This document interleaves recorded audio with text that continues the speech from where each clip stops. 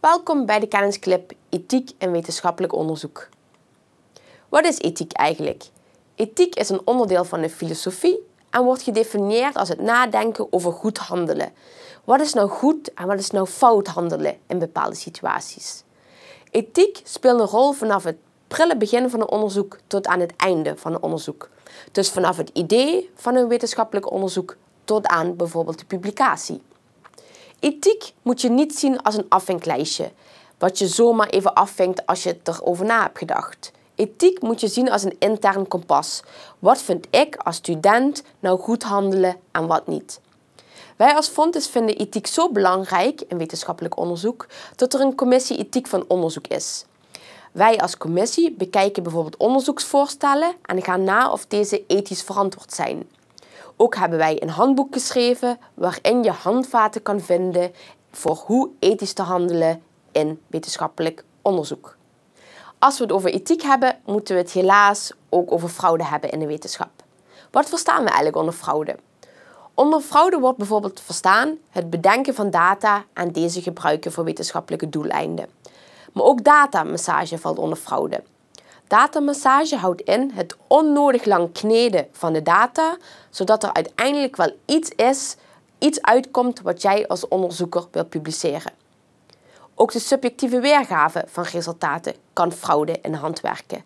Dat je bijvoorbeeld als onderzoeker besluit dat je een deel van de resultaten wel publiceert en een ander resultaat, wat jou niet zo goed uitkomt, niet publiceert.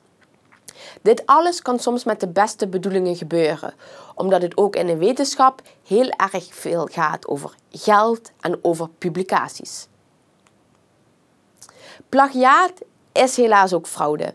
Het kan niet zo zijn dat je als onderzoeker doet alsof stukken tekst van jou zijn, terwijl ze dat niet zijn.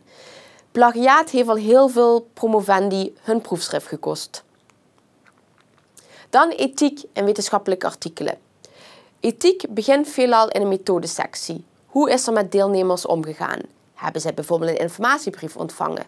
Hebben zij een informed consent getekend? Weten deelnemers dat ze ten alle tijden zonder opgave reden mogen stoppen?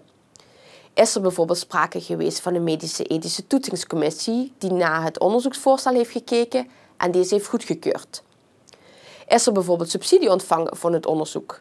Stel je voor, jij als onderzoeker krijgt een subsidie van een bedrijf, maar het is dan wel zaak dat je dat bedrijf ook onderzoekt. In hoeverre spelen daar bepaalde belangen een rol?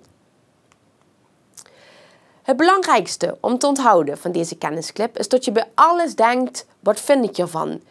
Vind ik dit goed? Vind ik dit niet goed? En zou ik bijvoorbeeld zelf aan dit wetenschappelijk onderzoek meedoen of juist liever niet?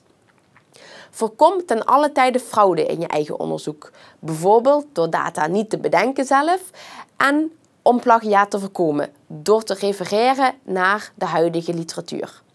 Bedankt voor het kijken naar deze kennisclip en tot de volgende keer.